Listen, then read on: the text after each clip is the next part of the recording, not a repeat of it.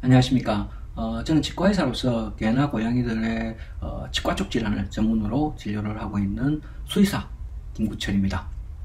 자, 오늘은 여러분들이 궁금해하고 계시는 개, 고양이들의 치과 치료는 어떤 식으로 진행이 되고 있는지에 대해서 어, 한번 같이 알아보도록 하겠습니다. 어, 개, 고양이들의 치과 치료 같은 경우는 다른 치료들과는 조금 다른 어떤 어, 특별한 부분이기 때문에 어, 떻게 진행되는지 여러분들이 궁금해 하시는 분들이 많아서 어, 오늘은 그 부분에 대해서 한번 같이 알아볼까 합니다.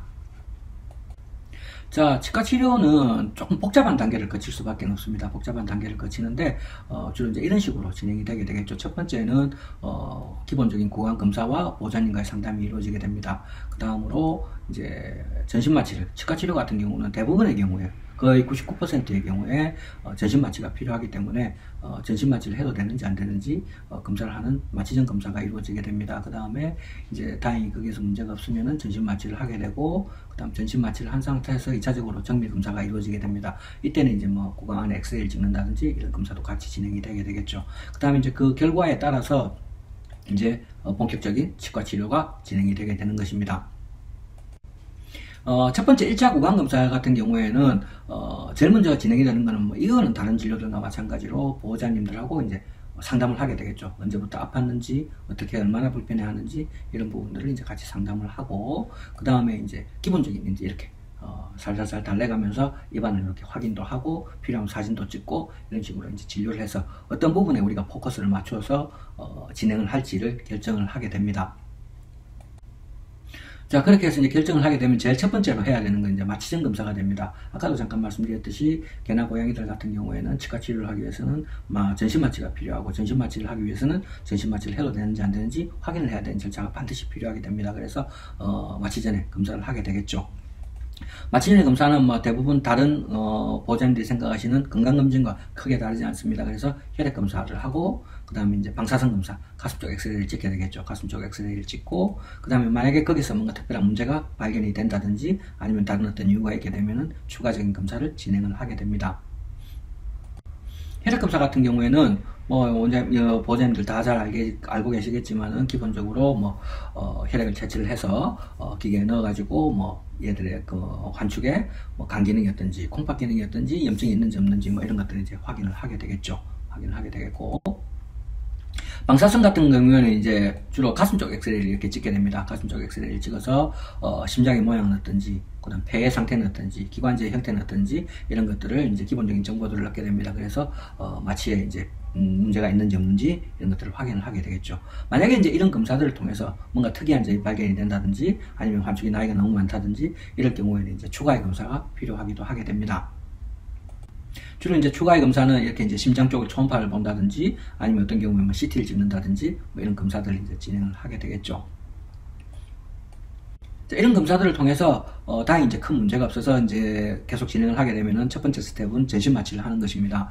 어, 이쪽 사진에서 보시듯이 이렇게 이제 여러 명의 스텝들이 붙어서 짧은 시간 내에 신속하게 애를 마취, 안정적인 마취를 마취에 도입이 되도록 이렇게 하게 됩니다. 그래서 뭐 여러 명이 앉아서 어, 붙어가지고 어떤 분은 이제 기관지 삭간을 하고 센서를 달고 어, 약물을 투여를 하고 하는 것들이 어, 정해진 이제 순서에 따라서 체계적으로 이렇게 잘 이루어지게 되겠죠.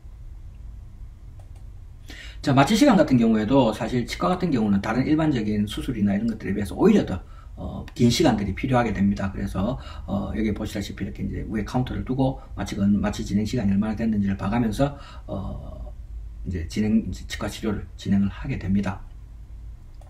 그렇게 해서 이제 마취가 안정이 되고 나면은 본격적으로 이제 치과에 관련된 검사를 진행을 하게 됩니다. 어, 다른 치료들과 마찬가지로 치과도 뭐 제일 중요한 게 사실은 엑스레이를 찍는 겁니다. 사람들 같은 경우는 뭐 파노라마 촬영이라고 해서 여러분들 다 해보셨겠지만 치과 가서 이렇게 이제 입안 전체를 이렇게 한 장에 쭉 볼 수 있는 어, 촬영을 하지만 강아지들 같은 경우는 현재까지 그렇게 어, 사람들 같이 이렇게 아주 좋은 뭐 화면을 얻을 수 있는 어떤 것들이 잘 되어 있지 않습니다. 그래서 이렇게 부분 부분 부분 이렇게 엑스레이를 찍어서 어, 확인을 하게 됩니다. 그 다음에 이제 좀 더 정밀한 어, 입안의 검사를 확인하게 되겠죠.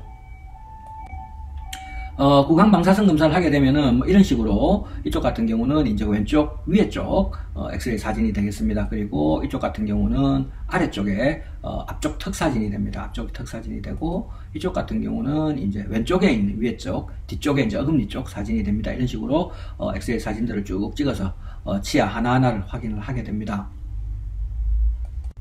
다음에 이제 추가로 마취가 되어 있으니까 이제 못 움직이니까 그죠? 어, 입안을 조금 더 편안하게 조금 더 자세히 정밀하게 확인을 저희들이 할 수가 있습니다. 그래서 뭐 치석이 얼마나 끼어 있는지 그 다음에 뭐 이빨이 부러진 데는 없는지 색깔이 변한 건 없는지 뭐 이런 것들을 조금 더 정밀하게 잇몸은 문제가 없는지 이런 것들 아주 정밀하게 어, 검사를 해서 확인을 하게 됩니다 자, 이거 같은 경우는 이제 프로빈 테스트라 그래서 잇몸과 치아 사이의 깊이가 얼마나 깊은지 이런 걸 개별 치아 하나하나 하나마다 다 체크를 해서 어, 그게 얼마나 깊은지를 갖다가 이제 확인을 하게 되고 어, 이쪽 사진에서 보시다시피 옆에서 도와주는 선생님께서 이제 그 기록을 다 이제 차트지에다 기록을 하게 됩니다. 기록을 해서 이거를 기준으로 이제 얘한테는 어느 정도의 치료가 필요한지를 결정을 하게 되겠죠. 자, 이렇게 결정이 되고 나면 이제 거기에 맞는 치료들을 하게 됩니다. 어, 주로 이제 저희 치과의 동물 치과에서 이루어지는 치료들로는 스케일링이라든지 발치, 아니면 뭐 신경치료, 크라운 이런 것들이 일반적으로 이루어지고 있습니다.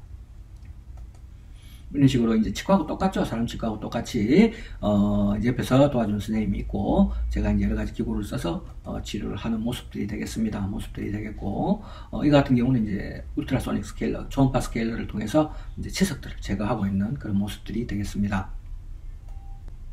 이, 이 사진은 이제 뭐 검사를 했는데 뭐 뿌려져 있다든지 너무 많이 썩었다든지 뭐 치주가 너무 문제가 있다든지 해서 이제 발치밖에는 이제 어떻게 해결할 수 있는 방법이 없을 것 같은 경우는 이렇게 이제 발치를 이빨을 빼기도 하고 아니면은 뭐 치아가 부러졌다든지 하는 경우에는 신경치료를 해서 치아를 살리는 이런 처치를 하기도 합니다.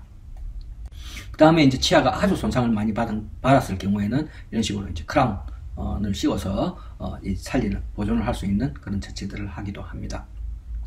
이렇게 이제 치과 치료가 다 끝나고 나면은 이제 다시 한번 보호자님들과 상담을 하죠. 대부분의 경우에 오늘 치료가 어떤 식으로 이루어졌고 그 다음에 이제 앞으로 집에 가 데리고 가셔서 조심하셔야 될 부분들 뭐 밥은 언제 먹이셔야 되고 안정시키셔야 되고 그 다음에 약은 어떤 식으로 먹이셔야 되고 어떤 부분들 조심하셔야 되는지 이런 부분들 상담을 하고 어, 기본적인 치과 처치를 마치게 되겠습니다.